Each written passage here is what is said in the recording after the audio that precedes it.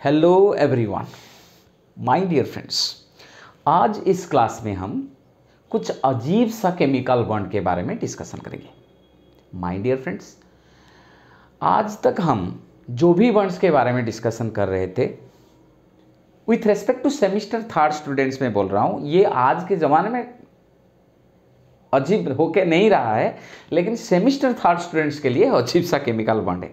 Anyway my dear friends जो भी chemical bonds आज तक हम डिस्कशन कर चुके हैं, वो है two centre two electron bond right यानी अगर मैं हाइड्रोजन मॉलिक्यूल के बारे में डिस्कशन करूँगा तो इस हाइड्रोजन मॉलिक्यूल में दो हाइड्रोजन आटम के बीच में दो इलेक्ट्रॉन शेयर हुआ है। इसको एक सेंटर और इसको एक सेंटर बोलेंगे तो ये टू सेंटर बनता है। उनके बीच में दो इलेक्ट्रॉन है तो इस, ये जो बॉन्ड बन रहा है दो हाइड्रोजन के बीच में, ये जो बॉन्ड बन रहा है, इसको हम बोलते हैं two centre two electron bond क्या बोलते हैं रे? Two centre two electron bond लेकिन आज जो हम डिस्कशन करें, करने जा रहे हैं, जो हम, हमारे लिए है क्या रे? बी टू एच सिक्स यानी डाइबोरेन, इसका मेथड्स ऑफ़ प्रिपरेशन आप लोगों के लिए कुछ भी डिफ़िकल्ट नहीं रहेगा। और बी टू एच सिक्स के लिए हमारे स्ट्रक्चर डिटरमिन करना है। इसका स्ट्रक्चर को डिस्कशन करेंगे आज। और B two six B two H six जो है डाइब्रेन वो two centre two electron bond के जैसा नहीं है। ये एक आ, आ, कुछ डिफरेंट सा बॉन्ड है। वो है three centre three electron bond three centre three electron bond कैसे होता है? क्या है इसका हाइब्रिडाइजेशन कैसे हाइब्रिड ऑर्बिटल फॉर्म होता है? डिटेल्स हम डिस्कशन करेंगे। ये एक long question important long question BSc students के लिए। आ, तो चलिए स्ट्रक्चर डिटरमिन करते हैं स्ट्रक्चर डिस्कशन करते हैं। Okay so first of all B two H six यानी इधर बोरन सेंट्रल आटम है। बोरन दो सेंट्रल टू सेंट्रल एटम्स कितना सेंट्रल एटम्स है? दो सेंट्रल एटम्स यानी two B atoms two B atoms यानी दो ही जो बोरन एटम्स है, दो सेंट्रल एटम इधर है। और इसके चारों ओर जो सराउंडिंग एटम्स होंगे, वो हाइड्रोजन है। तो जिसका हाइब्रिडाइजेशन होता है, हमको पता है, एक मॉलिक्यूल में किसका हाइब्रिडाइजेशन होता है? एक मॉलिक्यूल का जो सेंट्रल एटम होता है, उसका हाइब्रिडाइजेशन होता है। तो यानी ये जो फाइव है, इसको हम लिखेंगे, इसका ग्राउंड स्टेट का इलेक्ट्रॉनिक कॉन्फ़िगरेशन ग्राउंड स्टेट का मतलब होता है, जिधर जो इलेक्ट्रॉन रहना चाहिए, अगर वैसे ही है तो उसको हम तो उसको हम लिखते हैं ground state two P Y zero and two P Z zero. तो ये बनता है हमारे लिए ग्राउंड स्टेट इलेक्ट्रॉनिक कॉन्फ़िगरेशन अगर जब हाइड्रोजन बोरन के साथ बॉन्ड कर बॉन्ड करने के लिए आ जाते हैं तो वो जो सेंट्रल आटम बोरन में जो इलेक्ट्रॉन जिधर होना चाहिए था उनमें रिपल्सन के कारण, रिपल्सन के कारण एक्साइटेशन होना शुरू हो जाता है। इसीलिए ग्राउंड स्टेट से अभी हम लिखेंगे एक्साइटेड एक्साइटेड स्टेट हमको ये समझना है, जब हाइड्रोजन बॉन्ड करने के लिए बोरन के साथ आते हैं, तब एक्साइटेशन होता है। इसीलिए ही अब हमको इसका एक्साइटेड स्टेट लिखना है। ये जो टू एस ऑर्बिटल में दो इलेक्ट्रॉन था उनमें से एक इलेक्ट्रॉन इधर टू पी वाई को एक्साइट हो जाएगा। Two P X one, two P Y one, two P Z zero, ये होता है हमारे लिए एक्साइटेड स्टेट हाइब्रिडाइजेशन हम फ़र्स्ट ईयर से डिस्कशन कर चुके हैं, ये हमारे लिए बहुत बड़ी बात नहीं है। भालेंस सेल में जो एक एस ऑर्बिटल के साथ अभी तीन ऑर्बिटल मिलके sp3 हाइब्रिडाइजेशन देंगे। Sp3 हाइब्रिडाइजेशन देंगे। Sp3 हाइब्रिडाइजेशन में जितना ऑर्बिटल मिलके हाइब्रिडाइजेशन कर रहे कर रहे हैं, यानी एक s के साथ तीन p, यानी चार ऑर्बिटल, चार ऑर्बिटल्स मिल रहे हैं हाइब्रिडाइजेशन के लिए तो चार हाइब्रिड ऑर्बिटल हमको मिलेगा। यानी हम लिखेंगे four S P three hybrid orbitals formed hybrid orbitals hybrid orbitals formed यानी चार हाइब्रिड ऑर्बिटल्स हमको मिल रहा है sp3 हाइब्रिड ऑर्बिटल एंड उनमें से कितना इलेक्ट्रॉन है वैलेंस शेल में? तीन। वो तीन इलेक्ट्रॉन हॉर्स रूल को अप्लाई करके तीन हाइब्रिड ऑर्बिटल में एक एक करके इलेक्ट्रॉन से रह जाएँगे और जो फोर्थ वाला हाइब्रिड ऑर्बिटल रह जाएगा वो एमटी बन जाएगा एमटी रह जाएगा। यानी वैसे कितना? ये है first hybrid orbital second third and ये है फोर्थ ओके ऐसे करके हमारे पास चार sp3 हाइब्रिड ऑर्बिटल है हर एक हाइब्रिड ऑर्बिटल ऑर्बिटल के पास एक एक इलेक्ट्रॉन जो फोर्थ हाइब्रिड ऑर्बिटल है, वो एमटी रह जाता है। एम हाइब्रिड ऑर्बिटल तो इसके साथ ही हमारा कुछ नया डिस्कशन करना है। ये एम टी ऑर्बिटल सी बिलियन के तरह काम करेगा कैसे एक नया बॉन्ड बनाने के लिए। एनीवे anyway, तो मैं मैं इंटरेस्ट के लिए बता देता हूँ कि ये जो बी टू एच सिक्स का three centre two electron bond है कभी कभी इसको हम बोलते हैं बानाना बॉन्ड क्या बोलते हैं? बानाना बॉन्ड यानी केला के बॉन्ड यानी केला का बॉन्ड केला जैसा दिख रहा होगा वो बॉन्ड इसलिए बानाना बॉन्ड इसको बोलते हैं। तो जो भी हो हम एक बोरन का आटम के लिए लिख रहे हैं, लेकिन दो ही बोरन का आटम सेम ही हाल होता है, यानी वही ग्राउंड स्टेट एंड वही एक्साइटेड स्टेट वही चार हाइब्रिड ऑर्बिटल जिनमें से एक रह जाता है एम तो इसका स्ट्रक्चर कैसे डिस्कशन करेंगे माय डियर फ्रेंड्स ये सपोज़ ये एक बोरोन आटम्स है। चार हाइब्रिड ऑर्बिटल्स होगा सेंटर में तो ये एक टेट्राहेड्रल स्ट्रक्चर देगा। हर एक बोरन आटम के पास एक टेट्राहेड्रल स्ट्रक्चर क्या होगा? फॉर्म हो जाएगा। यानी एक तो बोरन आटम इधर सॉरी एक एक sp3 हाइब्रिड ऑर्बिटल इधर से, और एक sp3 हाइब्रिड ऑर्बिटल इस डायरेक्शन में। ठीक है? फिर एक S S P three hybrid orbital इस डायरेक्शन में एंड एक S P three hybrid orbital इस डायरेक्शन में, जैसे टेट्राहाइड्रल स्ट्रक्चर हम हाइब्रिडाइजेशन में डिस्कशन किए थे ऐसे। एंड एंड हर एक S P three hybrid orbital के पास एक एक इलेक्ट्रॉन है, बस खाली फाइनली ये जो है, ये फोर्थ जो sp3 हाइब्रिड ऑर्बिटल था, इसको छोड़ के हम बोल रहे थे कि चार नंबर का जो हाइब्रिड ऑर्बिटल है, उसके पास इलेक्ट्रॉन है नहीं। उसके पास इलेक्ट्रॉन है नहीं। तो ये एम हाइब्रिड ऑर्बिटल है।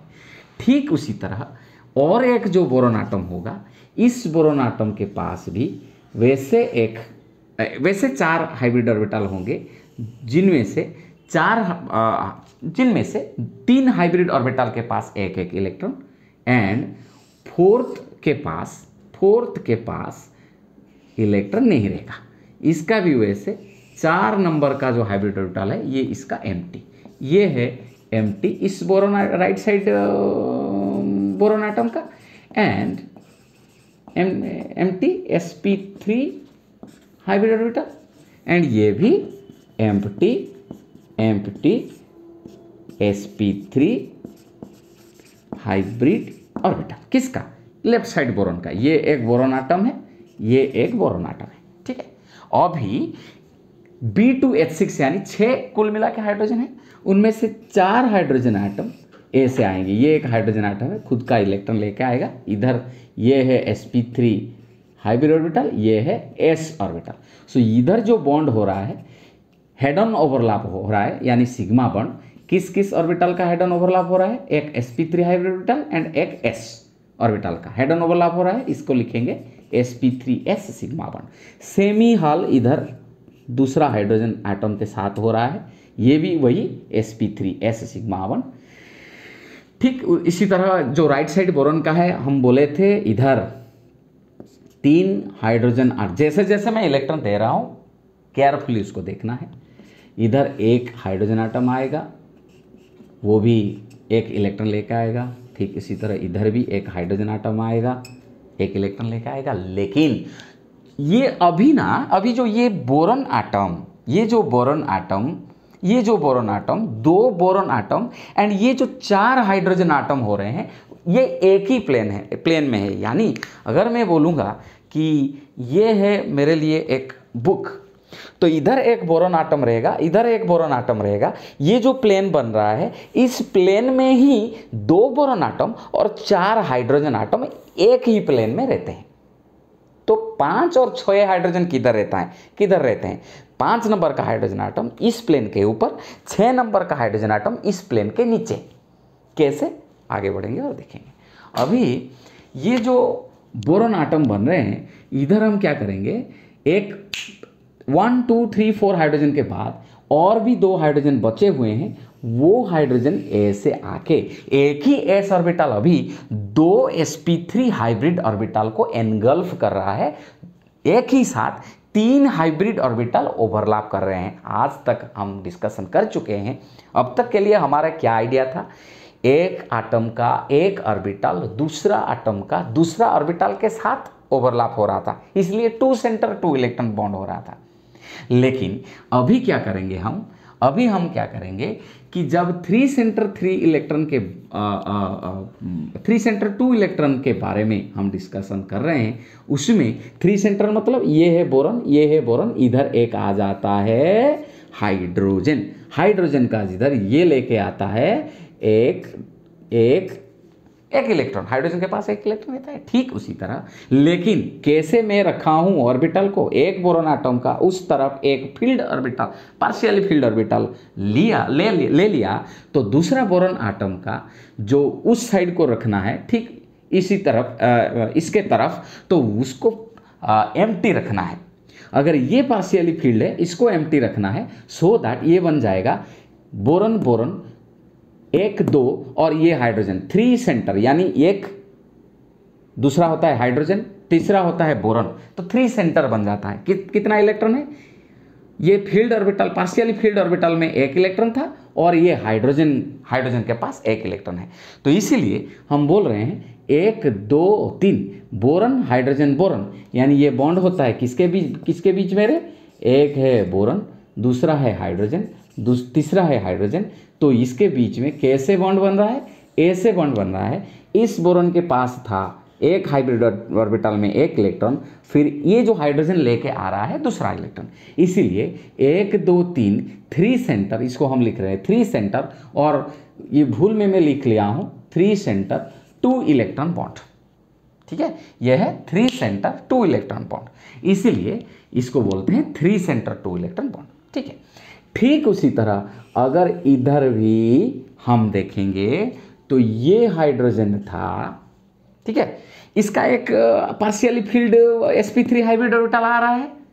उसके ऑपोजिट में इस बोरन आटम का जो sp3 हाइब्रिड ऑर्बिटल लेना है, उसको एम्प्टी रखना है। ठीक इसका ऑपोजिट इस बोरन आटम इस बोरन आटम का sp3 हाइब्रिड ऑर्बिटल को जैसे हम यू नो अरेंज करते हैं ठीक ओपोजिट इसको अरेंज करना है नहीं तो हम नहीं कर पाएँगे। एनीवे anyway, इस हाइड्रोजन भी एक इलेक्ट्रॉन लेके आता है। इधर भी देखो ये है सेंटर वन हाइड्रोजन है सेंटर टू ये है सेंटर थ्री यानी दूसरा एक यू नो ऐसे करके बॉन्ड आता है। थ्री सेंटर बनते हैं। इस बोरन के इस बोरन के आटम का इस बोरन आटम का जो sp3 हाइब्रिड ऑर्बिटल है, इसके पास इलेक्ट्रॉन नहीं है। ये जो बोरन आटम है, इसके पास इलेक्ट्रॉन है। ये एक इलेक्ट्रॉन लेकर आता है और हाइड्रोजन हाइड्रोजन एक इलेक्ट्रॉन लेकर आता है और बोरन के पास एक इलेक्ट्रॉन है। ये वाला और ये वाला। दो हाइड्रोजन मिलेंगे तो सॉरी एक हाइड्रोजन जिसके पास एक इलेक्ट्रॉन है। इस बोरन का sp3 हाइब्रिड ऑर्बिटल में एक इलेक्ट्रॉन है।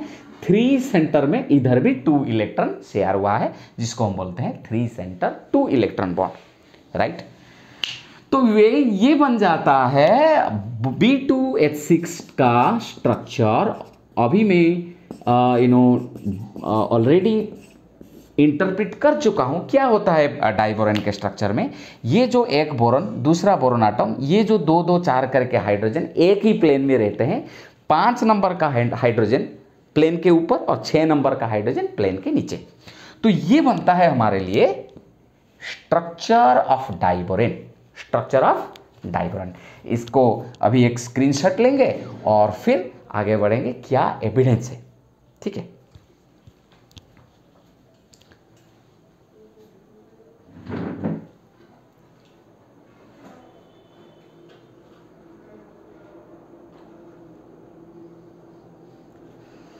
माय डियर फ्रेंड्स ये जो बॉन्ड है, इसको इसीलिए ऐसा दिख रहा है ना, इसीलिए इसको हम बोल रहे हैं बानाना बॉन्ड क्या बोल रहे हैं रे बानाना बॉन्ड ये भी एक बनता है बनाना बॉन्ड बनाना बॉन्ड ये जो दो हाइड्रोजन हम ऐसे लिखते हैं, दो हाइड्रोजन इधर और दो हाइड्रोजन इधर।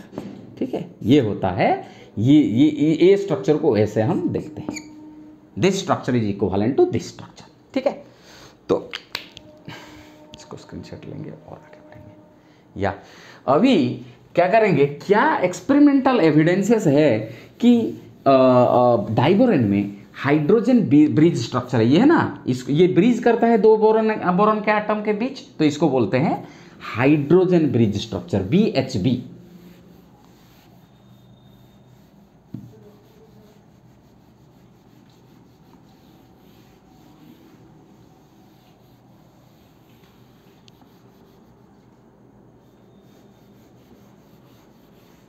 okay so अभी चलेंगे। अभी किधर चलेंगे रे? Experimental evidences experimental evidences for hydrogen bridge structure hydrogen bridge structure hydrogen bridge structure, ठीक है? हाइड्रोजन ब्रिज स्ट्रक्चर किसको बोलते हैं रे? हम बोल रहे हैं ना, इधर बोरन और ये बोरन आटम और ऐसे करके दो बोरन आटम आटम्स होते हैं। दो बोरन आटम के साथ जो चार हाइड्रोजन, ये एक ही प्लेन में रहते हैं। पाँच एंड छः नंबर का हाइड्रोजन, जो प्लेन, ये जो दो बोरन आटम चार हाइड्रोजन आटम जो प्लेन बनाते हैं, इसके ऊपर नीचे करके रहते हैं पाँच छः तो ये हमको बोल, हम इसको बोलते हैं हाइब्रो हाइब हाइड्रोजन ब्रिज स्ट्रक्चर। क्या बोलते हैं रे? हाइड्रोजन ब्रिज स्ट्रक्चर, जिसको बोलते हैं हम two centre, sorry, three centre three centre and two electron bond. Three centre, two electron bond. ये जो रहता है, इसको बोलते हैं हाइड्रोजन ब्रिज स्ट्रक्चर ठीक है? पहले तो पहले तो अगर ये मॉलिक्यूल को हम C two B two H six हम लिख रहे हैं ना डाइबोरन का फॉर्मूला क्या है डाइबोरन का फॉर्मूला है बी टू एच सिक्स अगर इसको सी टू एच सिक्स यानी इथेन के तरह समझते हैं, अगर हम कंसीडर करेंगे कि बी टू एच सिक्स में जो स्ट्रक्चर है, वो इथेन के साथ यू नो इक्वलेंट है तो इथेन का स्ट्रक्चर को देख के कंसिडर करके, अगर बी टू एच सिक्स का बॉन्ड को हम अरेंज करेंगे, उसका एनर्जी जितना आएगा, वो लगभग थ्री किलोजूल एनर्जी आएगा।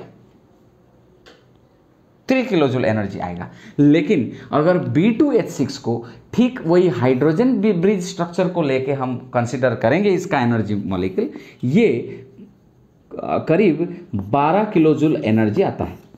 12 किलोजूल एनर्जी आता है, जिसका एक्सपेरिमेंटल वैल्यू भी वही कुछ 15 किलोजूल पर एनर्जी आता है। ठीक है? तो एक जो जो डाइबोरेन होता है, डाइबोरेन का एक्सपेरिमेंटल एनर्जी जो है, वो 15 किलोजूल एनर्जी है। लेकिन जब हम कैलकुलेट करते हैं थ्योरिटिकली उसका हाइड्रोजन ब्रिज स्ट्रक्चर को कंसिडर करके अगर कैलकुलेट करेंगे, उसका एनर्जी 12 किलोजूल एनर्जी होता है, जो 15 किलोजूल का एनर्जी का लगभग होता है लेकिन अगर इसका structure C two H six के इक्वालेंट करके कैलकुलेट करेंगे वो बस थ्री किलो जूल आएगा। इसीलिए हम इसको हाइड्रोजन ब्रिज स्ट्रक्चर को ही कंसिडर करेंगे। सो so, पहला है when energy of B two H six is calculated theoretically theoretically considering considering hydrogen bridge structure its energy its energy resemblances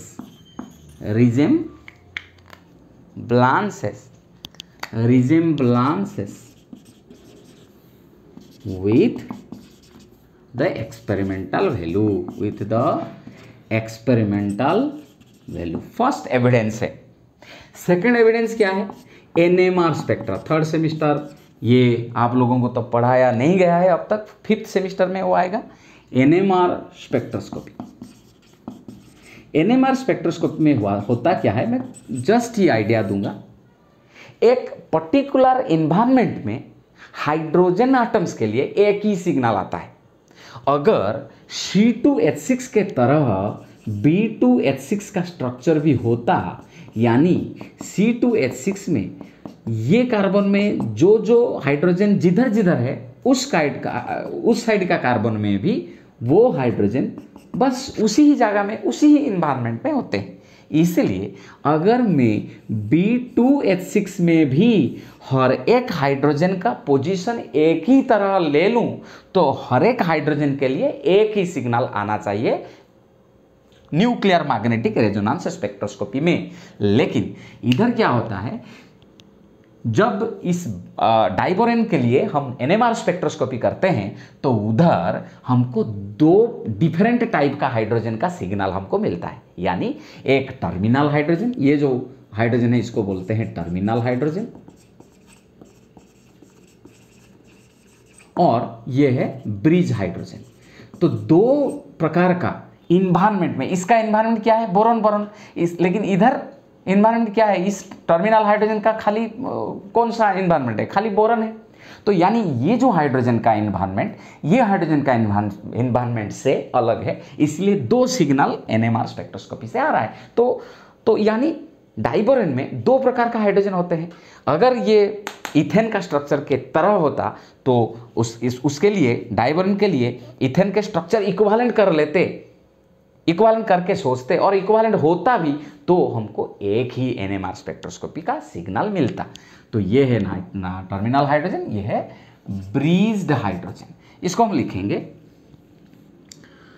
two different signals two different signals हैं? For two different type of hydrogen for two different type of hydrogen और two different type of hydrogen obtained.